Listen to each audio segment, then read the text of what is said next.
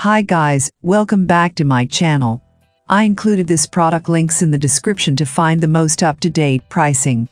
Stay tuned and let's get into the video.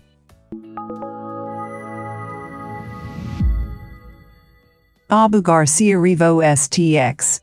We like the STX line because of the high-end bearings and brake system, but also for the three different gearing ratios available. The Revo STX is essentially a super-tuned version of the Revo SX. There is a gear ratio for everyone in the STX, where SX has only two. The reel weight drops from 6.9 ounces to 6.4 ounces, and also has 10 plus 1 bearings. The biggest difference between the two models is the braking system. The Revo STX has a magnetic system, plus an upgrade to a centrifugal brake system called the Infini brake system. It's up to you if the extra money for the better braking system is worth it to you.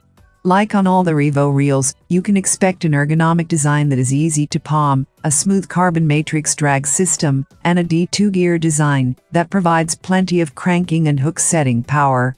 The STX can be the workhorse reel you've always wanted. I have included this product link in the description. You can check out this link for more information and latest price.